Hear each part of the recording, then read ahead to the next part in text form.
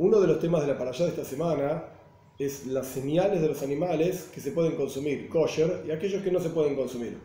Entre los animales, la Torah habla de los animales que viven en el agua, tanto peces como mamíferos, moluscos, etc. La Torah los llama todos por igual, aquellos que viven en el agua. Si tienen escamas y aletas, se pueden comer. Si no tienen escamas y aletas, no se pueden comer. Ahora bien, ¿qué nos enseñan estas dos señales en el servicio a Dios? La idea de que los peces viven en el agua significa que los peces reciben su vitalidad entera del agua. Cuando están rodeados por agua, viven. Cuando los sacan del agua, Dios libre y guarde, mueren. Esto indica el pueblo judío. El pueblo judío cuando está junto con la Torá, vive dentro de la Torá, pensando en Torá, estudiando Torá, etc., el pueblo judío está vivo. Cuando el pueblo judío, Dios libre y guarde, se lo separa de la Torá, etc. Ahora bien, hay dos condiciones para poder estar metido dentro de la Torá, poder estudiar la Torá como corresponde. Y esas condiciones son las escamas y las aletas. ¿Qué representa cada uno de ellos? Tanto las escamas como las aletas son algo agregado al cuerpo del pez, no son lo central del cuerpo del pez o de la criatura que está en el agua, no importa. Y la idea es, las escamas representan el temor a Hashem, el temor a Dios.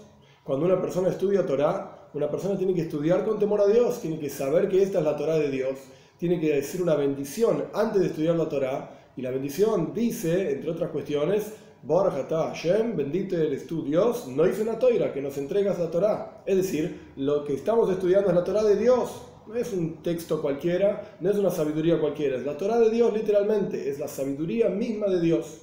Iras Shomaim, el temor al cielo, de siempre querer hacer las cosas bien. Esto es lo que representan las escamas que están pegadas y protegen al cuerpo del pez. De la misma manera, Iras Shomaim, el temor al cielo, protege el estudio de la persona que sea como corresponde. Pero hay otra cuestión más, que son las aletas. Las aletas le permiten al pez viajar en diferentes lugares y siempre llegar de un lugar donde está a un lugar nuevo. Lo mismo ocurre en cada persona.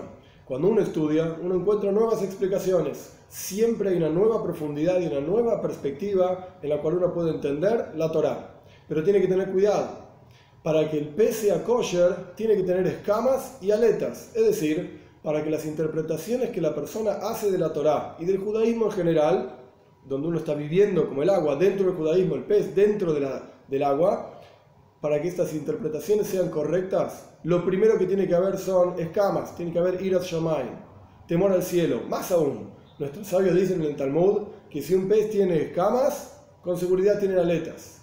Y si tiene aletas, no necesariamente tiene escamas. Quiere decir que el asunto central, el principio para enfocarse como corresponde y estudiar Torah y que el resultado sea el apropiado, es decir, que uno pueda llegar realmente a vincularse con Hashem y a la sabiduría de Dios que está en la Torah, lo primero que la persona tiene que tener es ir al Shomaim, es temor al cielo, y esto va a hacer que automáticamente sus aletas sean como corresponde, es decir, si tiene escamas, con seguridad tiene aletas, si la persona tiene temor al cielo cuando se sienta a estudiar Torah y cuando se enfrenta al judaísmo, con seguridad va a llegar a un buen puerto, con seguridad va a poder entender la sabiduría de Dios en la Torah y vincularse con Dios como Él está dentro de la Torah.